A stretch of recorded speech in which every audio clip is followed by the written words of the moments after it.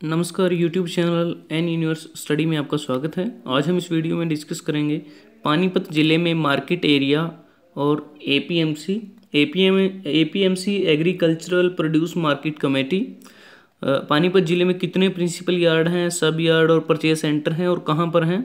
सबसे पहले शुरुआत करते हैं प्रिंसिपल यार्ड पहले पानीपत में है और सनी सब यार्ड यहाँ पे बैबरपुर और एनवीएम में है और परचेज सेंटर बैबल में है। दूसरा प्रिंसिपल यार्ड बेपोली में है और इसमें एक सब यार्ड परचेज सेंटर है सनोली में।